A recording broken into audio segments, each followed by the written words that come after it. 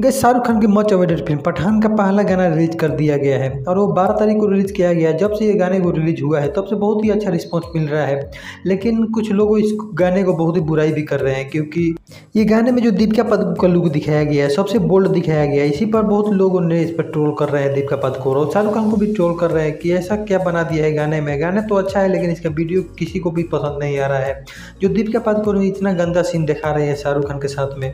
और कुछ लोग बोल रहे हैं कि शाहरुख खान ऐसा सीन नहीं करते हैं, लेकिन ये ऐसा ही सीन क्योंकि किया है अपने पठान फ़िल्म है, ये बहुत दिनों से अवेटेड है, इसलिए सभी कुछ ये फ़िल्म में डाल देना चाहते हैं, जो किसिंग सीन हो गया या कोई एक्शन सीन हो गया या रोमांस सब चीज़ डाल देना चाहते हैं ये फ़िल्म को चलाने के लिए।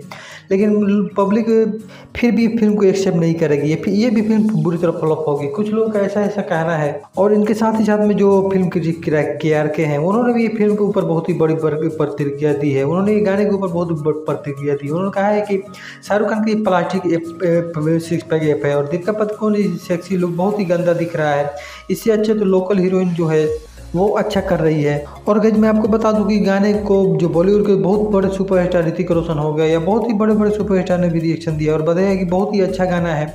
और ये पठान बहुत ही दिनों से वेट हो रहा है, लेकिन फाइनली वो बहुत दिनों के बाद लग रहा है कि पठान हम लोग को फ़िल्म देखने को मिल सकती है।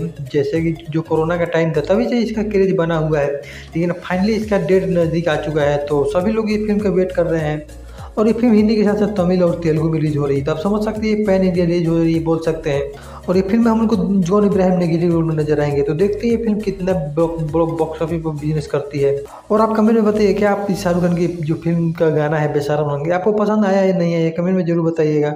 तो वेल ऐसी जानकारी के लिए चैनल को सब्सक्राइब कर लीजिए, वीडियो को लाइक कर दीजिएगा। तो मिलते हैं टेक केयर